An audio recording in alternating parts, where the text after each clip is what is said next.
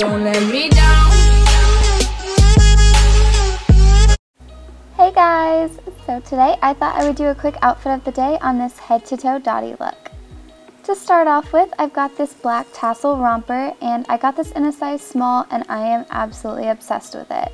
I love the print and I love that the fit hits me around my waist and also shows off this perfect bralette.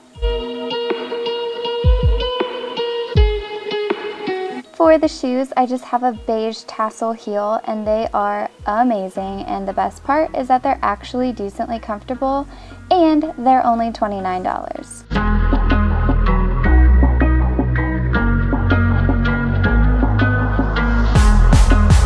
So this was just a super quick outfit of the day, but I hope you guys enjoyed it and I'll talk to you soon. Bye!